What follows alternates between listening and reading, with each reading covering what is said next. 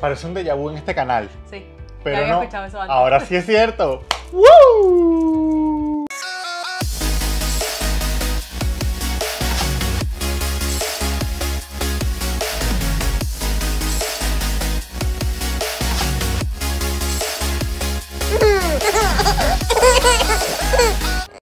Mamitas y papitos, bienvenidos una vez más a Vienen sin instrucciones. Sé que en este video va a haber muchos amigos, mucha familia, porque se quieren saber el chisme, porque dirán, ¿y esta gente? Pero ustedes no ven televisión, ustedes no tienen un bebé chiquitico que cuidar, que, que hace cosas, que fastidia, que hay que prestar atención. Sí, pero bueno, también tenemos otras cosas que contarles. Claro, las cosas pasan y, y la verdad es que estamos súper contentos y súper felices de, de compartir con ustedes eh, una noticia que, bueno, nos encantó. Ya ustedes la saben, obvio, pero les vamos a contar el trasfondo. Bueno, ni, ni tan trasfondo. Algunas cosas que todavía no saben. Sí, no hay, no hay, no hay mucho misterio. Eh, cuando un hombre y una mujer se quieren, Oh my god, desde Ah, no. ahí. no, no, no, un poquito más adelante. No, miren, la verdad es que queríamos contarles cómo pasó, porque, es decir, cómo pasó, cómo nos enteramos, porque para todos fue una súper sorpresa, porque bueno, desde, bueno, yo creo que tienen que tener mucho cuidado primero que nada con lo que decretan. El universo escucha, señores. El universo, Dios, los ángeles, la Virgen, eh, no sé, La quien sea, quien sea que a quien ustedes, en quien ustedes crean, funciona. Toda la vida, desde siempre, desde, desde de- ni siquiera conocernos, yo dije, voy a tener dos hijos y se van a llevar dos años. Dos años, dos años. Nació Lara y yo decía, nada, dos años, dos años. Después pensamos que no iba a pasar así porque el proceso de lactancia ha sido largo, eterno. Y como ya saben, o no sé si saben, en muchos casos cuando todavía estás dando pecho así súper exclusivo mucho, es un poco menos probable que, no es imposible, pero es menos probable. Y nos pasó que estábamos así como que, bueno, no creo, ya veremos, en algún otro momento será, y así. Y nada, yo, mira, esto se me está cayendo en plena grabación, pero no importa. Este, ¿qué les iba a decir? Se me fue la idea. que ya veremos, Ah, que... Sí, estábamos así como que, bueno, ya no creo. Y bueno, si yo hubiese calculado los días, los segundos, las horas para que esos muchachitos se llevaran dos años, esto no sale. Pero es así. Es así. La verdad, nosotros estábamos em, así, no es que estuviésemos buscando, pero tampoco estábamos cerrados a la idea porque eh, ambos somos hijos únicos y queríamos desde siempre pues tener al menos eh, dos bebés. No, no, al menos no. Al menos no Ya, yo bebés. sabía. No se esté confundiendo, no, ya va. Bueno, pero no queríamos tener un hijo único o una hija única y la verdad nos cayó como anillo al dedo. Eran los planes que teníamos desde siempre. Obviamente una vez que cuando tú no tienes bebés, tú haces muchos planes y dices, no, esto así, esto asado. Una vez que estás en la experiencia de tener tu primer bebé y ves lo, lo complejo que es, eh, empiezas a decir, bueno, ya va, espérate, pero quizás esperemos un poco, quizás no, no va, no es tan rápido. Pero la verdad es que, como tú dices, la palabra O sea- tiene poder y nosotros queríamos tener dos hijos eh, relativamente cercanos entre sí en edad. Y bueno, ahí está. Pues sí. Las- las- los números indican que van a tener básicamente, no sé, Dos años dos exactos. años y días o poquitas semanas de diferencia. Así que bien por nosotros porque lo logramos. Y bueno, lo otro que quería decirles es que eh, otro dato curioso sobre este embarazo es que nos enteramos teniendo dos meses de embarazo. O sea, fue súper raro porque yo desde, es decir, yo vi mi último periodo eh, cuando me enteré que estaba embarazada de Lara.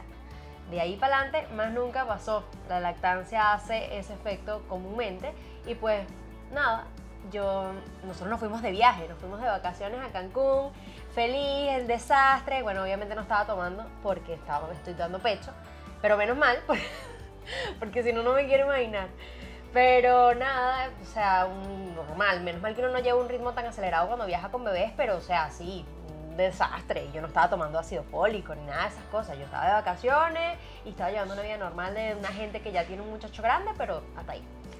Y pues un día, nada, estaba ya de regreso en- en- acá en Chile, en mucho sueño, pero así horrible, un sueño horrible. Y yo no sé si a ustedes, mamitas, les pasó, pero el sueño del embarazo es una cosa distinta. Eso no, no es un sueño normal. Y yo decía, este sueño está raro. Y empecé a hacerle bullying. Y yo decía, ¡ay! Pero sinceramente ni siquiera pensando remotamente que podía hacer. Hasta que vengo yo y me hago un sándwich con diablito, señor. Diablito es un jamón endiablado que venden en, Si no son venezolanos, en exacto. Venezuela. Bueno, no sé si lo, lo venden en muchas partes ahora mismo porque lo hemos logrado. Eh, pero es un, un jamón endiablado que vende en lata. En lata. Jamón. Y yo, o sea, mi debilidad, pero así, mal. Pero con el embarazo de Lara, eso era lo único que a mí me hacía salir corriendo al baño. Y vengo yo y me hago mi pan feliz. Y de repente que... mm. Y yo, ok, esto sí no es normal. Esto no es normal. Y bueno, tenía una prueba de embarazo allí porque, bueno... De las de Lara. De las de Lara. Había sobrado una porque traían dos, X. Y digo, me la voy a hacer, pero... Otra vez esa misma historia, porque con Lara fue lo mismo. Sí, de hecho yo estaba jugando con Lara ahí En la cama. cama, viendo televisión y le estaba haciendo bullying a Lara. Decía, voy a hacer papá, pipí, ya vengo. ay papá, dígame si ya no es la reina, la princesita del hogar. Y bueno, nada, yo fui, me hice mi prueba y de repente salieron las dos rayitas. Esta vez sí sabía que eran dos rayitas. y yo, ¡ah! Esto no puede estar pasando. Bueno, típico que mata al tigre y después le tienes miedo al cuero. Así, justamente así. Porque yo decía, obviamente siempre había dicho que seguidos, pero no deja de ser que Lara es un bebé, sigue siendo un bebé. Y para el momento en el que este nuevo bebé nazca, ella sigue siendo un bebé. Sí. Entonces, si bien teníamos claro que queríamos que estuviesen muy seguidos, por varios motivos. Primero, porque si no, después me arrepiento. Adelante. Después de eso, porque, conchale, no es lo mismo eh, esto de que sean hermanos con mucho tiempo de diferencia. Suele pasar que el hermano mayor termina cuidando al hermano menor y no es lo que le corresponde y yo no quería como inevitablemente darle esa responsabilidad y que además juegan más, interactúan más, pelean más, ya sé, ya sé, ya sé, pero también salíamos de eso eh, en un solo impulso, ¿sabes? O sea, ya va a llegar un punto en el que ya no dormiste lo que no ibas a dormir, hasta aquí llegó y de aquí para adelante son muchachitos tan grandes los dos a la vez, las actividades, etcétera, etcétera, etcétera. Pero sí estoy en pánico. Ahora puedo decir que estoy en pánico. Sí, obviamente la, la- educación y la crianza de dos hermanos, o sea, la educación y la crianza siempre es compleja y siempre es única de acuerdo a tu bebé y de acuerdo a los padres, al ambiente familiar, en donde vivas, todo por supuesto es súper complejo. Eh, pero dentro de esa complejidad, pues nosotros creemos, te, te lo decimos ahora, en este momento en el que el bebé no ha llegado, creemos que, bueno, si bien puede ser un poco más difícil que los dos sean bebés, que los dos hijos o las dos hijas sean bebés, eh, pasará, pasará y empezarán a vivir etapas de- al mismo tiempo y, y bueno, ya Creo que irás, tenemos muchas referencias de descansando eh, de las etapas. mi mamá y mi tío son hermanos con dos años de diferencia, tú tienes primos con dos años de, de diferencia, yo también tengo primos. Y siempre me pareció muy bonito que, bueno, sí, al principio es un desastre y las mamás están triagotadas y todo lo que sea, pero a medida que van creciendo es una relación muy bonita porque es muy cercana. Entonces, bueno, queríamos eso y aquí estamos montados ya en esto. Em, ya tengo, bueno, para el, para el momento de la grabación de este video, tarde, lo sé, ya tengo tres meses de embarazo. De hecho, sí, andando el cuarto en realidad. Y bueno, no hay barriga, se las debo, pero... También, como decías tú, nos enteramos un poquito tarde. Sí, nos enteramos y- tarde, entonces todo el proceso ha sido como, Sí, ya, sí, ha sido tardío en relación, o sea, ojo, no tardío, sino que vamos un poquito más adelantado en relación a- al proceso como lo vivimos con Lara, claro. porque nos enteramos mucho antes. Eh, Pero bueno, nos falta el sexo.